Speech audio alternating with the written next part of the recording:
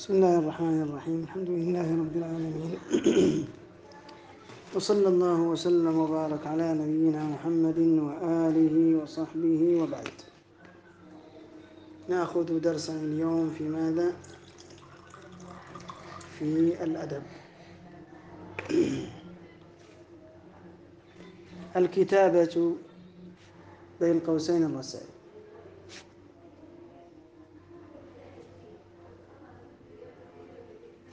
رسالة النبي صلى الله عليه وسلم إلى خالد بن الوليد. الكلمات الجديدة.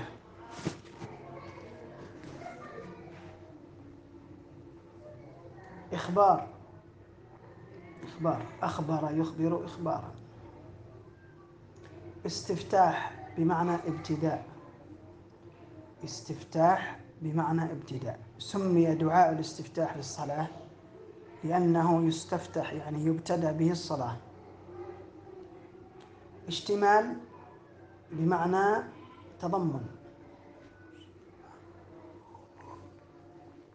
اشتمل على كذا يعني تضمن كذا يدخل فيه كذا.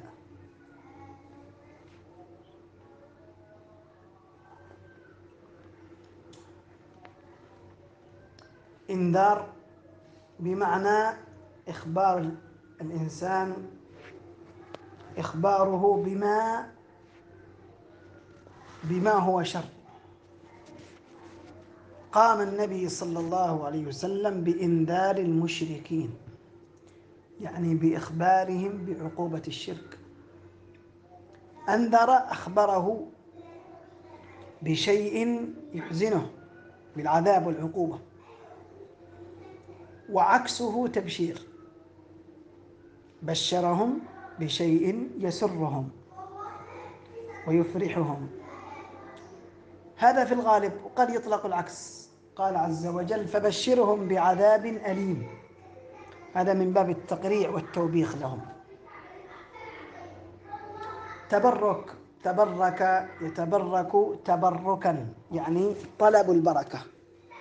التبرك هو طلب البركة. تبشير سمعت معناها. أفرحه جعله يفرح أخبره بشيء يفرحه. يفرحه إنذار. إنذار تقدم معناه طيب. تبرك تبشير إدخال الفرح والسرور. تبليغ. بلغ يبلغ تبليغا.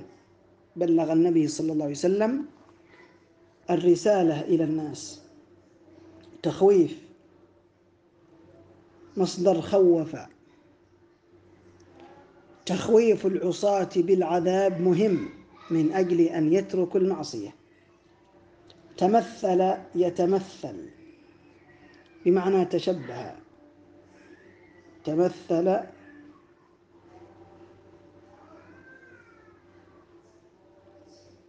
نعم.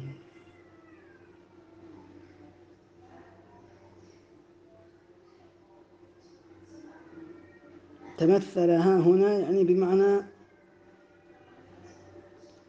آه، تمثل بكذا. سيأتينا إن شاء الله في النص ويظهر معناها في السياق لأنه قد تحتمل معنى آخر. جلالة لفظ الجلالة يعني الله. خطر خطر. بمعنى عاقبة. خطر المعاصي عظيم. ختم بمعنى إنهاء. ختم الدرس إنهاء الدرس. شهد يشهد أقر عصاه جمع عاصي. غرض يعني مقصد. فصل بين شيئين بين الشيئين. فصل يعني حاجز. بين الشيئين. متضاد يعني هذا ضد هذا يعني عكس متعاكس معاند يعني معاند لا يريد النصيحة ويعاند يرفض يرفض قبول النصيحة. مقدمة للكلام قال التقديم حرس حرص حرس وحريص. حرس الرسول صلى الله عليه وسلم منذ أن كلف بتبليغ الرسالة على نشر الإسلام ودعوة الناس إليه طاعة لأمر ربه فدعاهم بالحكمة والموعظة الحسنة ولكن المشركين قاوموه يعني وقفوا ضده فلم يجد مفرا من قتالهم حتى يستجيبوا للدعوة. وكان من بين قبائل العرب التي دعاها إلى الإسلام قبيلة بني الحارث بن كعب. فقد أرسل إليهم خالد بن الوليد رضي الله عنه وأمره أن يدعوهم إلى الإسلام ثلاثة أيام. فإن استجابوا كتب إليه وإن لم يستجيبوا قاتلهم. وقد دعاهم خالد إلى الإسلام فاستجابوا له من غير قتال. فكتب إلى النبي صلى الله عليه وسلم يبشره بذلك. فرد عليه النبي صلى الله عليه وسلم برسالة دعاه فيها إلى العودة ومعه وفد منهم. النص بسم الله الرحمن الرحيم. من محمد النبي رسول الله.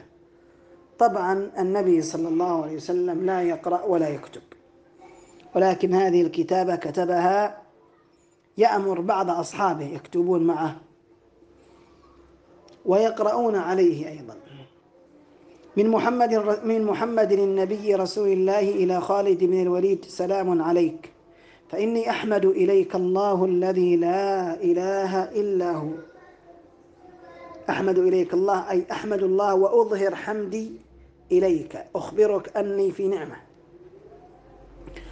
أما بعد فإن كتابك فإن كتابك جاءني مع رسولك تخبر أن بني الحارث بن كعب قد أسلموا قبل أن تقاتلهم وأجابوا إلى ما دعوتهم إليه من الإسلام وشهدوا أن لا إله إلا الله وأن محمدا عبد الله ورسوله وأن قد هداهم الله بهداه فبشرهم وأنذرهم بشرهم بالثواب لمن آمن وأنذرهم بالعقاب لمن كفر وعصى. وأقبل وليقبل معك وفدهم.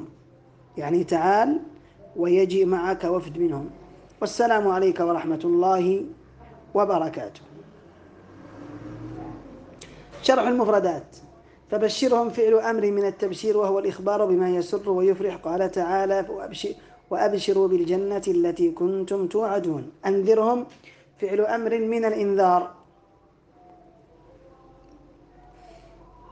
وهو التخويف من الشر. قال تعالى فأنذرتكم نارا تلظى.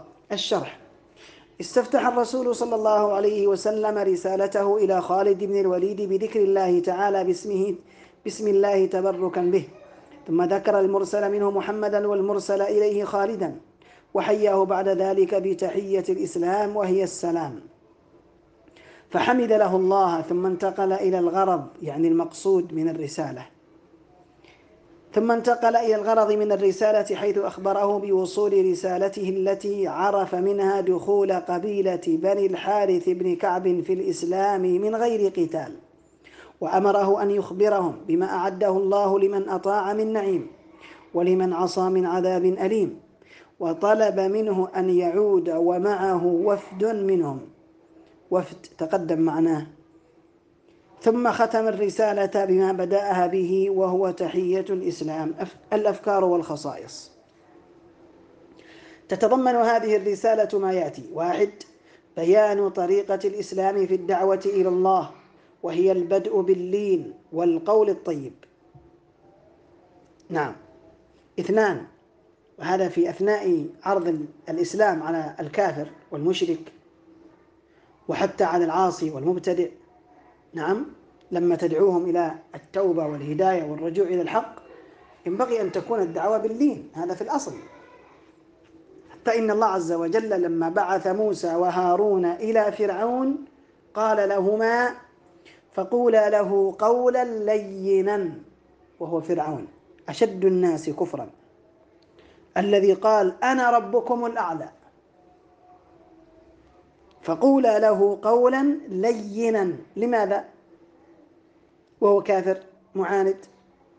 قال عز وجل لعله يتذكر أو يخشى. وأما في حالة العناد لما يكون معاندا ويحارب أهل دعاة الحق فإنه يتعامل معه بما يستحق من الهجر والتحذير. اثنان بيان موقف الإسلام من المعاندين العصاة. وهو قتالهم إذا لم يستجيبوا للموعظة الحسنة. العصاة يعني الكفار. مراد بالعصاة الذين عصوا الرسل وعصوا من يدعوهم إلى الإسلام رفضوه. والقتال يقوم به ولاة الأمر قتال الطلب. ثلاثة اشتمالها على ثلاثة أقسام. ألف المقدمة وتتضمن ذكر اسم المرسل منه والمرسل إليه فالتحية. اسم المرسل منه. اشتمالها يعني تضمنها. تتضمن ماذا؟ تحتوي على ماذا؟ على المقدمة. وفي المقدمة ذكر المرسل من فلان بن فلان. والمرسل إليه الذي تصل إليه الرسالة. ثم التحية وهي السلام عليكم ورحمة الله وبركاته. باء الغرض ويتضمن موضوع الرسالة أي المقصود منها. جيم الخاتمة وتتضمن السلام. الفصل بين المقدمة والغرض بأما بعد. خمسة البلاغة النبوية البلاغة النبوية التي تمثلت في أي نعم هنا تمثلت يعني ظهرت في كذا ظهرت في كذا. في استخدام بعض الأساليب البليغة كالجمع بين المتضادين فبشرهم وأنذرهم. هذا من البلاغة. أن يجمع بين لفظين متضادين. كل منهما كل منهما يؤدي غرضا.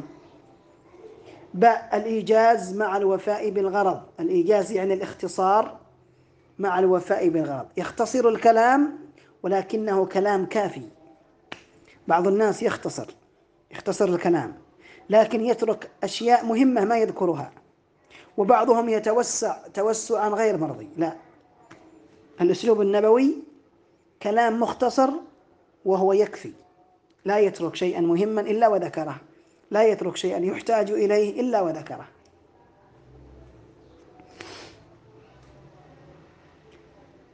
الإيجاز مع الوفاء بالغرض. جيم سهولة الألفاظ ووضوح المعاني. نعم.